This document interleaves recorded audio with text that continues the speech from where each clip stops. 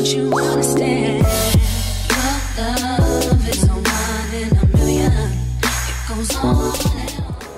Hey you guys, welcome back to my channel. It is me, your girl Latresha Simone. If you are new, welcome. And if you are not new, welcome back. Um, this video is not about this hair that I'm currently wearing now. It's actually about this hair that I'm about to insert in this video.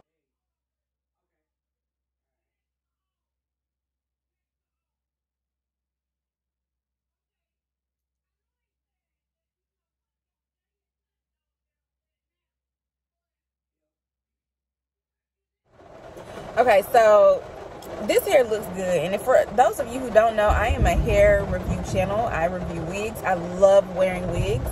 Um, some sponsored and some not. I pay for some of the wigs with my own money. But some things just look good, okay? So basically, I got this wig from the beauty supply store, which normally I get them from like wigtypes.com or something like that. But I ended up getting this wig from the beauty supply store because I was short on time and I needed one.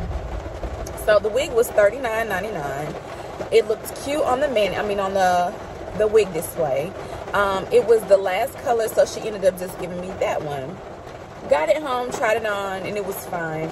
I realized it was not a full lace wig, it was only a lace part. And only a lace part means just lace at the part and not full lace like all the way around from ear to ear normally when I do synthetic wigs, it's from ear to ear. But I was like, mm, I'm not really going to be wearing it like out like that. So it'll probably be fine.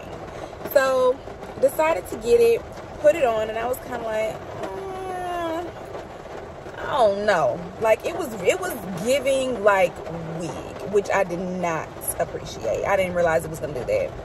Um, another thing about the wig, or continuing on about the wig, it was very small. Like I have a semi big head, not that big, but the wig was super small. Like the wig cap was super, super small. I was heavily surprised.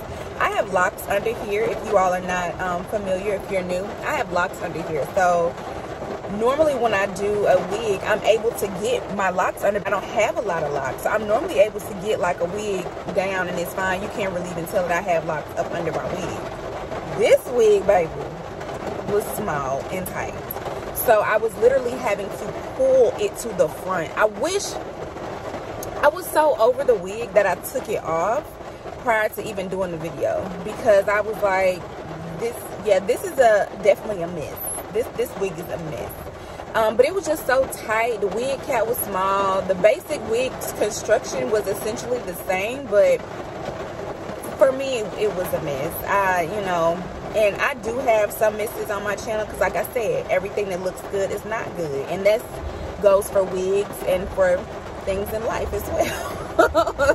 Things in life as well but i was just like kind of really heavily surprised about it that it just they was so small. Like I don't know, I don't know what they did, and it was nappy. Like I had only wore it for a day, so basically I wore it for that day, and then the next day I wore it again. I was I had it for the weekend. Normally, when I wear wigs for the weekends, whether they're synthetic or human, I'm able to sleep in them as long as I tie them up and put a bonnet on.